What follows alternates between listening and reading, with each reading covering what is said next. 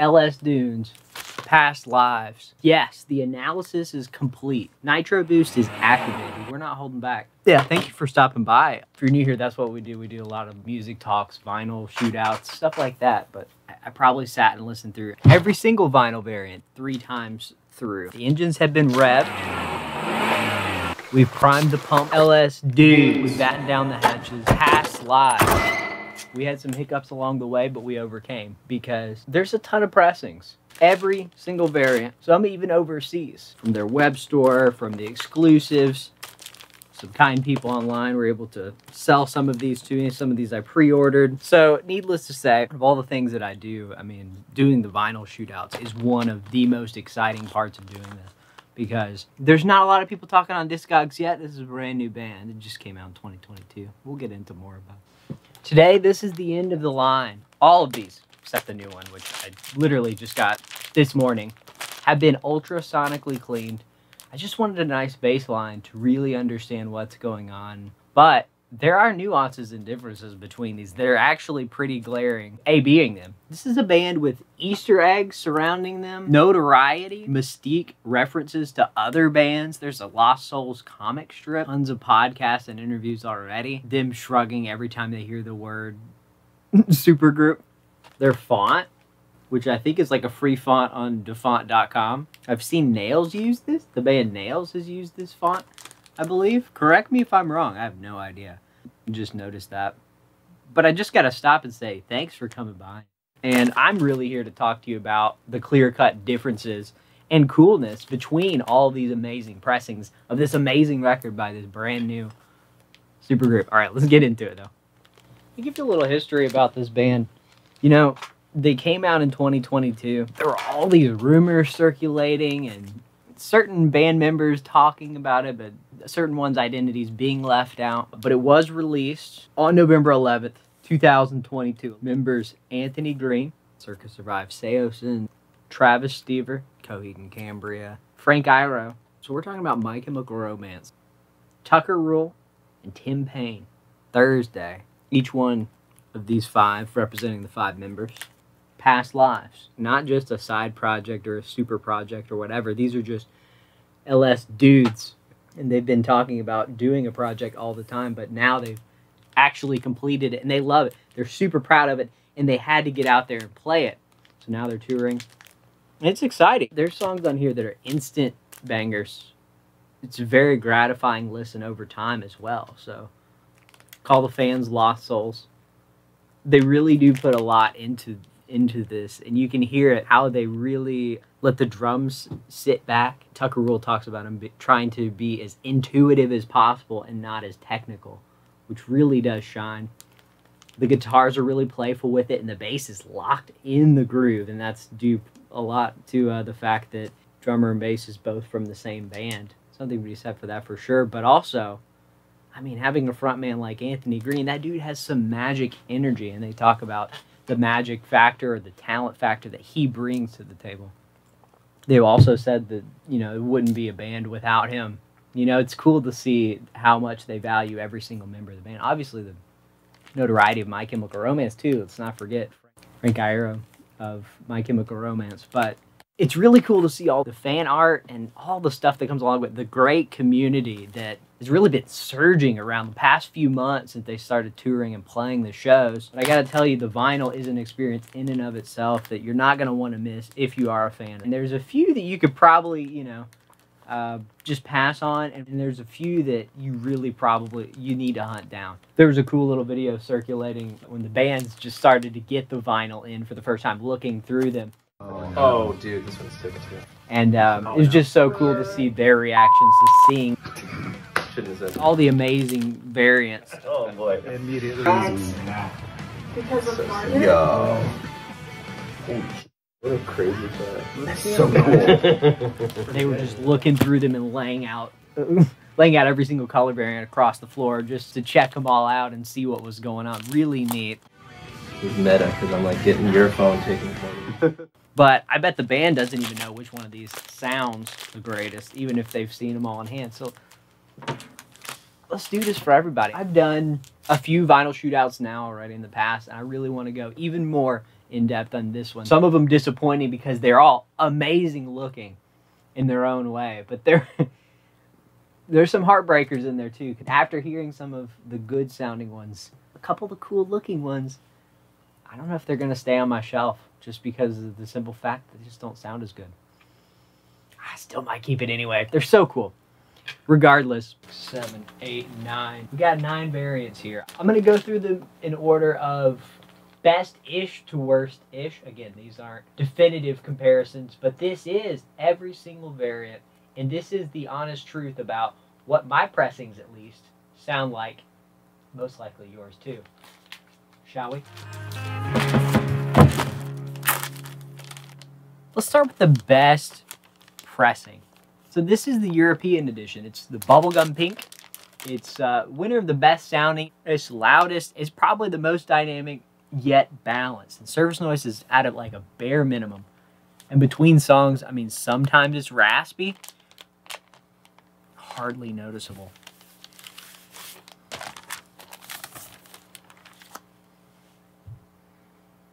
I'm to double check this as I go, but the information in the dead wax and the matrix runout right here is completely different than any other pressing variant. So you will know for sure if the sound wasn't enough for you. Uh, it's the best pressing. It's got a nice sharp edge, but it's smooth.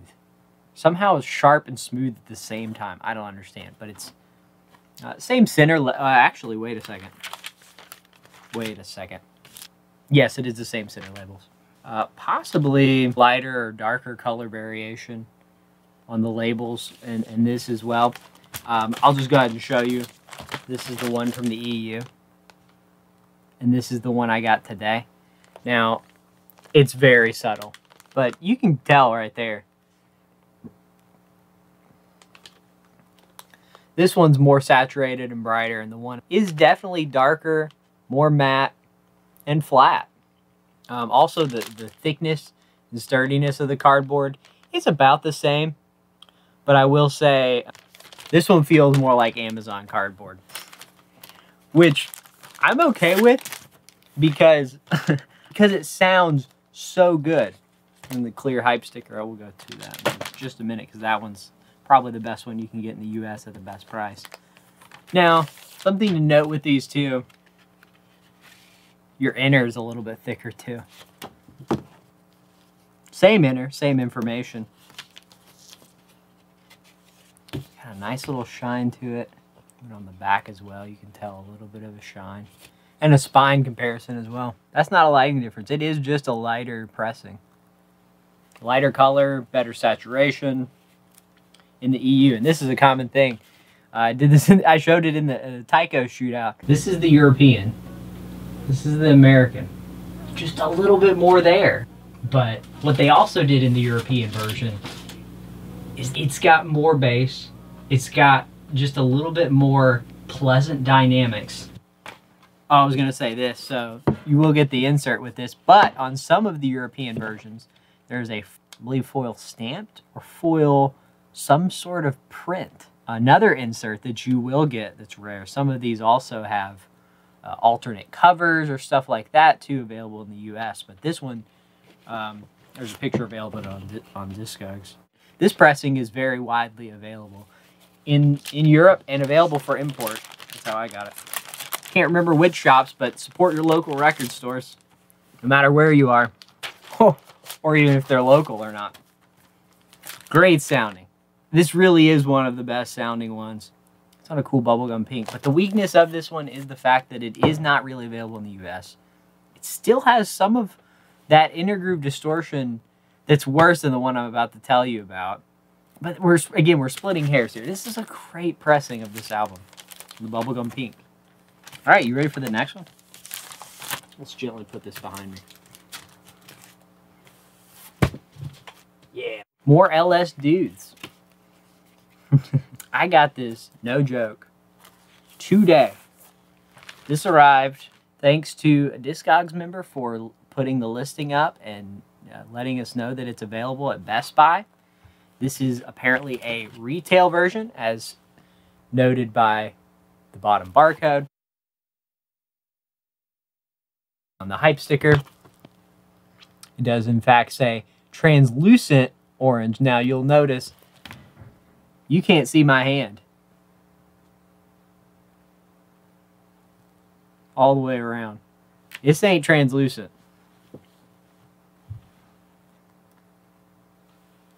I can barely even see the, through the spindle hole. Um, it's a tangerine. It's a opaque tangerine. That's the truth. It is amazing. I really didn't expect much. I expected this to sound as good as maybe some of the ones they put up on their web store or whatever, just like generic ones. No, this thing sounds amazing. I'm keeping this 100%. It's still available at Best Buy for 20 bucks. Unbelievable. Now, this is not to be confused with the Amazon one and their old web store one, which I'll go through in a minute. A comparison of the color. You can definitely note the differences. This is the Orange Crush. I bought this at a local record store. Shout out to them for selling me this a day early. Uh, called me up and told me they had it if I wanted it on the Thursday before it came out. Super stoked to listen to this a day before it came out. And you can see, yeah, this is definitely Orange Crush. It's darker. And this is the Tangerine. This is the Best Buy retail one. Uh, the orange doesn't sound great, Orange Crush. Now, it does have a cool other element, and that is the card slipcase, which might be worth it to you. You do not get that on the retail Tangerine version. Now, when I was going to talk about the 180 gram one next, I had every everything prepared to talk about because it was my next favorite one. 180 gram more bass I think is is there and audible on this, but this is the least sibilant. This is my favorite. This is super clean. Like we're talking no surface noise. And this is not ultrasonically clean. I ultrasonically cleaned everything else. I didn't even brush clean. I didn't pre-brush before I dropped the needle. I mean, that was dumb. It sounds that good. I, am blown away with this pressing. It's outstanding. It's still available. Go get it if you haven't. I think it matches it a little bit better than the Orange Crush. Orange Crush does look good. Like it's darker. I like this bright orange. It's more fun. Bright tangerine orange. Love it. Yeah, I haven't even peeled off this resealable outer yet. All right, that's good to go. Next one down. Got the 180 gram. Yeah, this one's amazing, especially the packaging. It just matches up so beautifully. The other ones are stamped. Yeah, it's looks identical to me. Completely flat, really silent, very light crackle, sometimes a tick, hardly at all. Yeah, I did say it has the best bass, and it does. It's just got more bass there. Super clear treble two and top. Do not forget that. Um, but it's not the absolute best. And you know what? These are going for a pretty couple pennies now, which is going to scare a lot of people away. And as great as it sounds, there are other ones you can get, and none of these are definitive again. Barcode basically denoting that it's black. I do feel like the fact that it comes in one of these, some of the other one too with the, the card, they give you a nice uh, resealable, which I appreciate. But let me show you the sliding card, because this is the first one we've talked about with one. Slide it out. Yeah. The same. Identical jacket. The same inner sleeve lyrics logo on the bottom. Looks great. I'll show you.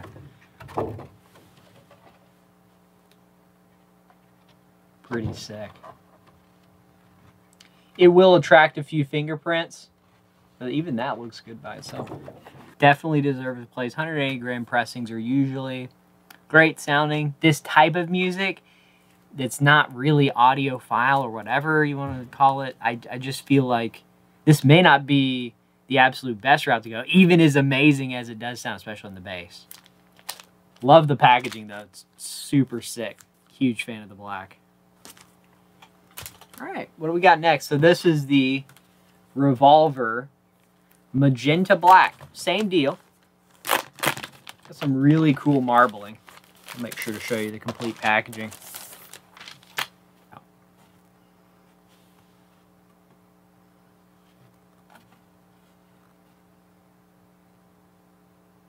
First, I thought it would look weird, but look how good that goes with the card. Scorpion 2. They call it magenta, but it's it's more of like a reddish, burgundyish, orangish. Kind of blend together. I will say I, I absolutely hate Revolver. I didn't want to get this pressing. Revolver is uh, notorious for doing cash grabs. Very, very limited runs of stuff. Not knowing much more than that about Revolver, uh, I sought this out looking for a decent sounding pressing. And I did receive that. I mean, we're talking very, very light surface noise and some of the quiet parts, maybe some occasional ticks. It is silent in comparison, and just one tearing on the song Blender toward the end of side A. Uh, intergroove distortion on A as well, but not as bad on B. This is B. Super great bass as well, comparative to that of the 180 gram. Not quite as much though. Whoa. Whoa. uh, Sibilance is pleasant. It's not bad. It's still super clear treble and, and top. Super clear and you know at the expense of maybe some upper dynamics. I definitely prefer that tangerine over there uh, more than this, which is amazing because this was one of my favorite sounding ones, even though I may not like the variant as much. It's resemblant of the Bloodshot. Now, Bloodshot is clear with red. This is red clear with black. Yeah, same deal. Absolutely no quality difference in the packaging.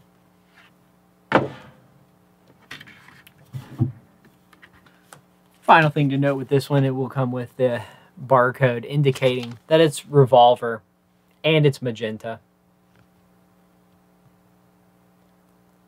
This was one of the first variants I saw pop up online when they announced the drop of this uh, on vinyl. I think it was the first to sell out, but I'm not sure on that one. That's the magenta.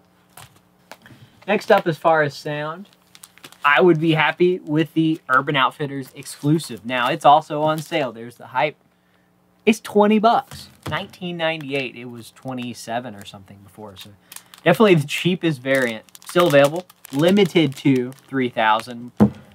Pretty much all the rest of them were not limited to that many. So now you will get a couple different things with this. I don't even believe I've opened this up. Uh, so we'll open it up together. But you get a very uh, similar to the Tangerine, you'll get the clear hype sticker that says LS Dunes with limited edition packaging. Hype sticker clear. And the Urban Outfitters Ghost Marble. Black and yellow smoke. You also get another couple little stickers on the bottom indicating just like stock stuff for the store. Yeah, I haven't opened this up since I received it. Very cool APEC card.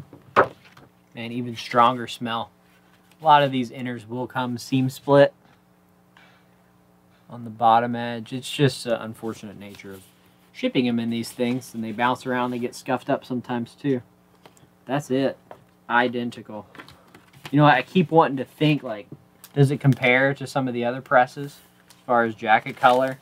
And, um, you know, looking at these side by side, it's the same deal just a little bit more, again, on the European one and these American ones. Just a little more color.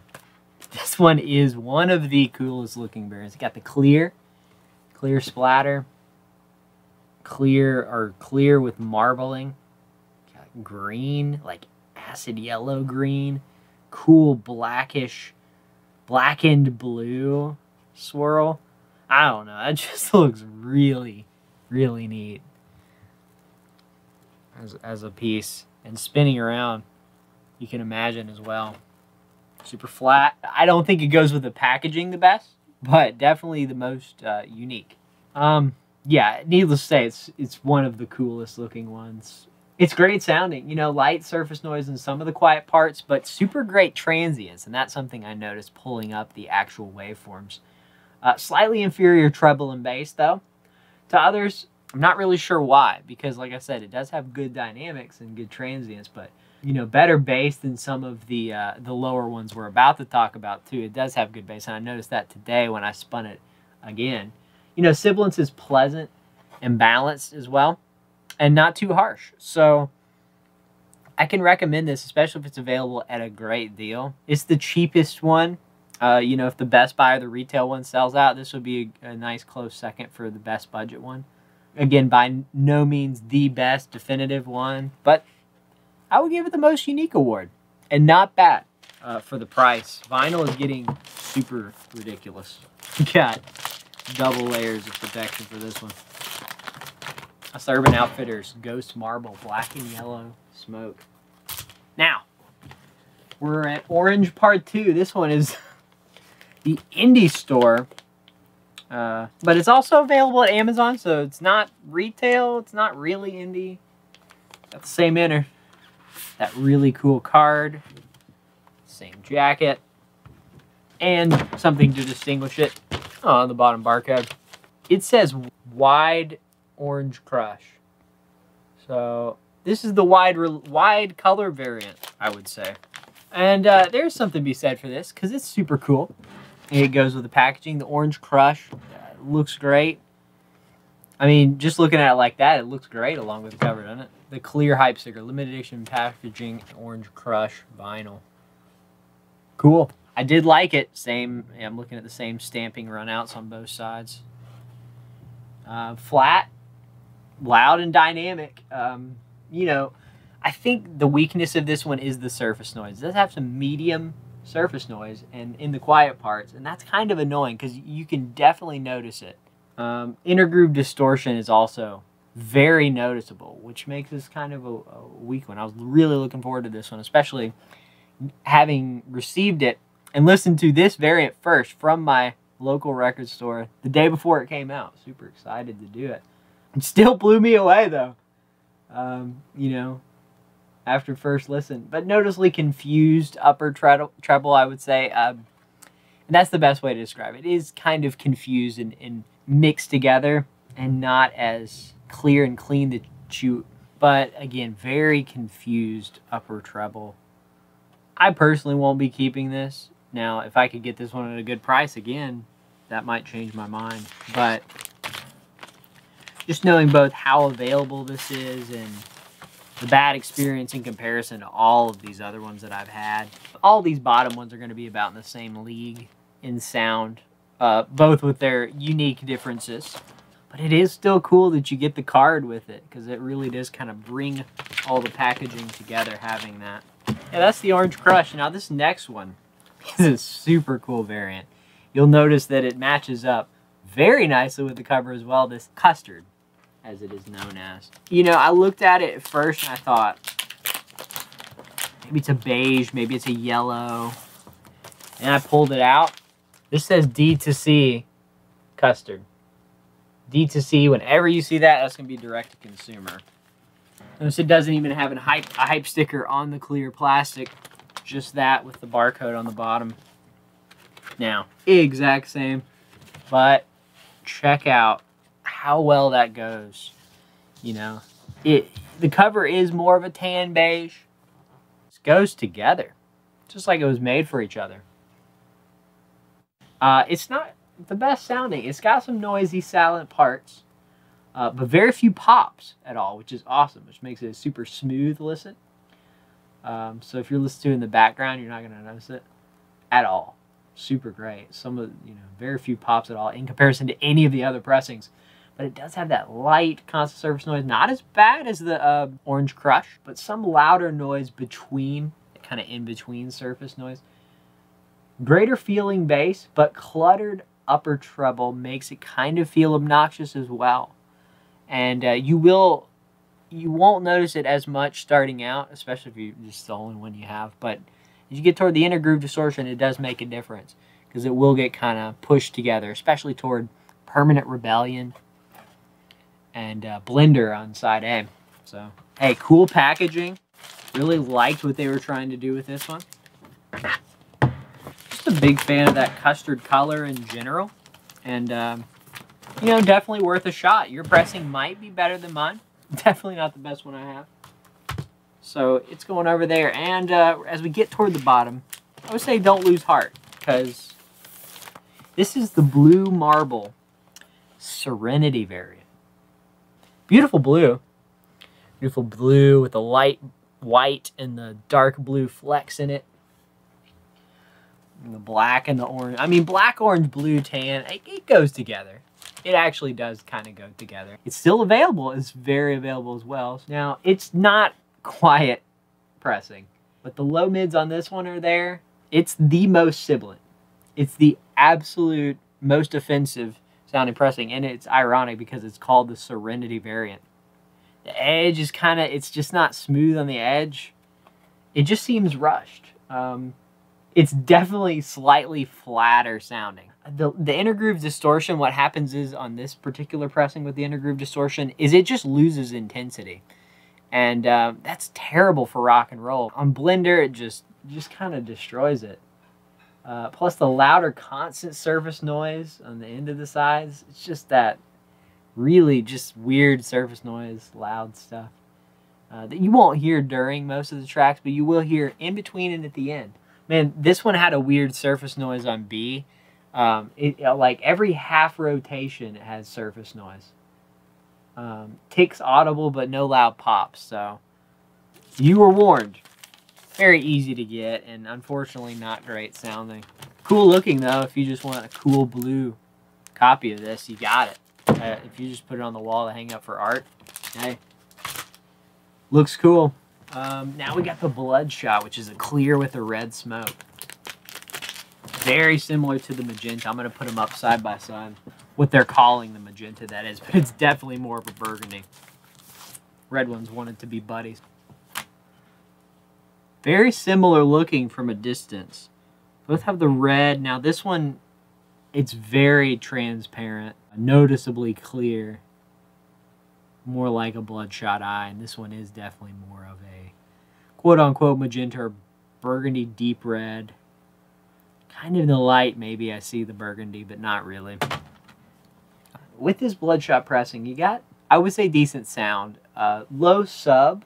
Uh, it's confusing why, why there would be a little more sub, not bass. It's just sub is like that kind of muddy woofiness. Slightly inferior bass, which is funny because the sub was more there. But low mids are the worst, and that was noticeable. I mean, we're talking somewhere in the order of 2 to 4 dB worse. They're just weaker. Uh, 5 dB less than the magenta right here. Um, and we're talking below 40 hertz and uh, 200 hertz to 1 kilohertz. That's kind of the low mids where they live.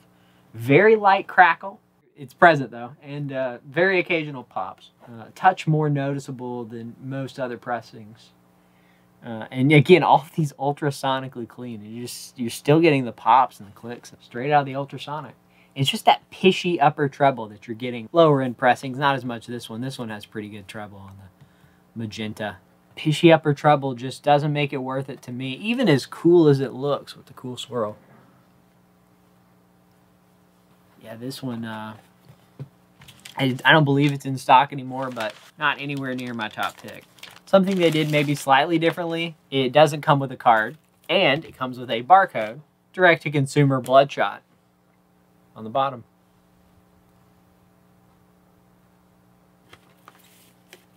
Yeah, you will get the insert with the cool LS Dunes logo on it. We just went through every single pressing of this. And again, what a great album. Amazing vinyl variants. Really well done packaging. It all goes together. There's all the spines side by side.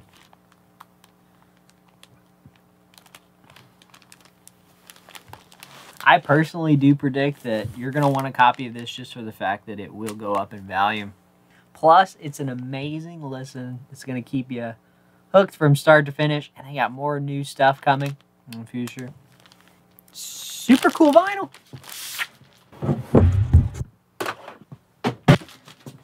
LS Dunes Past Lives.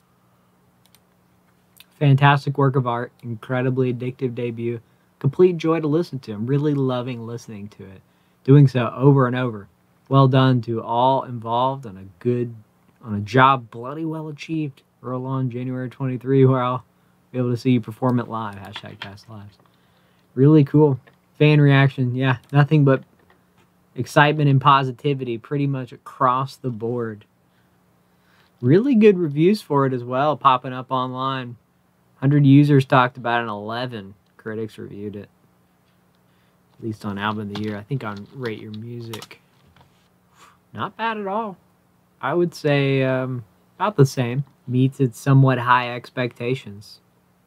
I mean, I would say high expectations. You know, it's really hard to separate the supergroup thing out of it because these are musicians that have been around. We're talking two decades. We've come to expect a certain level of musical goodness from these guys, and they delivered. The male vocals, energetic, passionate, melodic, rhythmic. 43 minutes, 21 seconds, 4, 3, 2, 1. It's a nice sequence. It doesn't overstay its welcome. It's just the bangers. Every single track in here is a banger. You know, I gave it a 90 just saying um, when they wanted it to sound like the cool elements from each, uh, you know, each of the groups represented without being individually and heavily identifiable. They 100% accomplished that. And I, I do still feel like, you know, even though they didn't want it to feel like it's like, oh, that's a that band thing, you can still hear where it came from. Like it's in a good way. You can still I think there is a level of recognizableness that that makes it makes it catchy. It makes it memorable as well. I mean, there was almost this expectation of me of like, oh, it maybe well, if it's too much of a Thursday thing or too much of a circa thing or too much of a My Chem thing. No, they really did accomplish that, and it is the strong points from each of the artists. I think so many moments that you'll notice the Thursday circa or My Chem, Coheed, Saosin or even Frank and Anthony's solo stuff.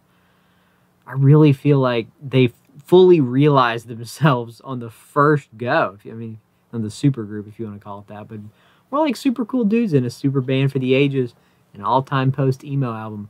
Post emo, is that is that a thing? It is now. Frankie and Tucker argue about it's not emo. Oh yeah, we are emo. But wouldn't it be so amazing to be like it's punk rock? You know what I mean? But no, people don't call it punk rock. People call it well, yeah, I think it's just it's just rock and roll. Subgenre of a subgenre of a subgenre. You and I think that. Yeah. I don't know. Right? Because we're in it. Maybe. no, no, we're emo. All the labels aside, for whatever you want to call it, like I'm trying to find another band of this kind of notoriety that sounds like this. I don't think there is one but they're not even resting on their laurels and that's what's really great to see. And the community coming around this stuff and and the great promotion stuff that they've done with the tucker thursday. What's up y'all? This is tucker and it is in fact tucker thursday. It, he did this every thursday even on tour and it's just great just to see the interaction that they're trying to do. Keep it going uh, through a monday through monday week round thing you know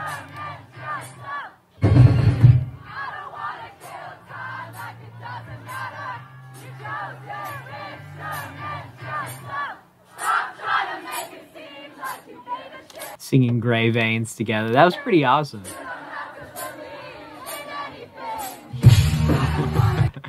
Man, there's so much cool energy around the band. It seems like uh, they're making special merch here, just whether it's drawing it in or you know just coming out to the tour, buying a record, a shirt, a poster. It's cool. It's um, you know interviews of them saying you know for a lot of us in this band it's a second chance just cool little stuff they're doing to keep it alive. Little rig rundown videos. More Tucker Thursdays, tattoos everywhere. Just really cool to see what people are coming up with and um, love song for lost soul.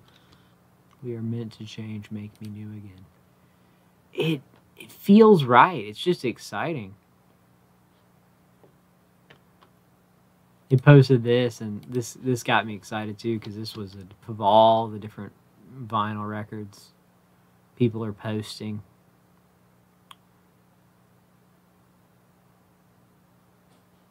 Signed one right there, signed alternate artwork on the record. That looks really cool. That one might, in fact, be the one I'm talking about, the Best Buy one. Assai. It's just the numbered obi thing. It's not even Japanese, y'all. They're European. You may have seen people discussing the Assai gimmick online. It is essentially just one of the editions, one of the variants. Assai version is just a regular edition or a, a very in stock limited edition with some kind of obi slapped on it and numbered. It's no different. It's not really supporting any local record store, and it's not really a different variant. Uh, in this case, it was the bubblegum pink one available in the in the European zones with an obi slapped on the edge. These have already sold for 70, 80, 90 bucks. Not the cultural appropriation or whatever. I mean, there's worse instances of that. I think this is just offensive for the fact that people think you're paying for something limited or different when in reality they just literally feeding into the FOMO of a very available, you know, almost for a year now, uh, variant. So if you're out there looking for a variant, I mean, there's no sense in even looking that direction. There's plenty of other stores that are just doing the same version. It really is like a bootleg version. I've talked about in other videos, so I don't want to go into it too much, but just know that they're doing it to move units uh, there's the new noise Flexi, the cassette. So that's the full bundle. There's the foil print.